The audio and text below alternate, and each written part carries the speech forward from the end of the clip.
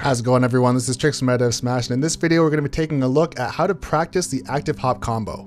So I had a couple people saying on the last active hop video that they were having trouble landing this because their opponent could easily escape or air dodge or just get away from them and they couldn't actually land this combo. And so I came up with a little drill that you can use to practice this combo over and over and over again. So first things first, you're going to want to do this against Bayonetta because he has a frame 1 air dodge being bat within.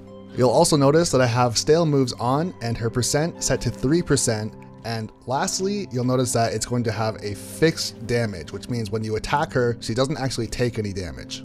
The reason why you want to do this is so that you can simulate getting this grab over and over again and not having to reset the situation by pressing L, R, and A. The reason why you don't want to do that is because it really takes you out of the immersive feeling of trying to actually land this in a real game. So with all that out of the way, the first thing you want to try and do is practice landing this using a face button as jump. I prefer to use Y button, but you can really use Y or X, it's up to you, whatever you prefer is totally fine. You're gonna try and land this on the top platform, on the side platforms, it doesn't really matter, just get used to the timing and understanding how you're gonna have to manipulate your controls based on where you're standing.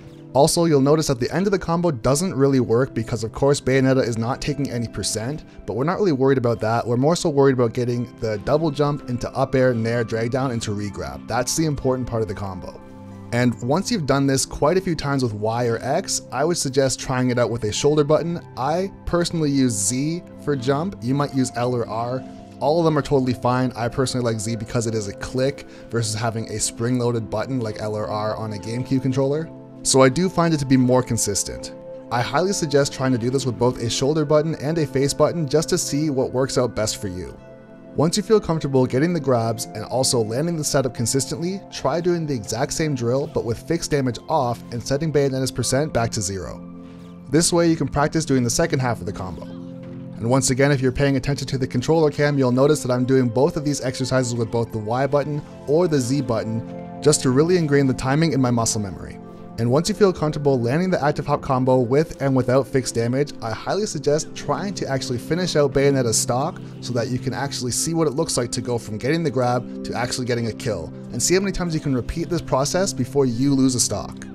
There's been a lot of requests from players on asking me how I actually practice this combo, and I'll tell you right now, this is probably one of the best ways to simulate the situation so that you can actually land it in a real match.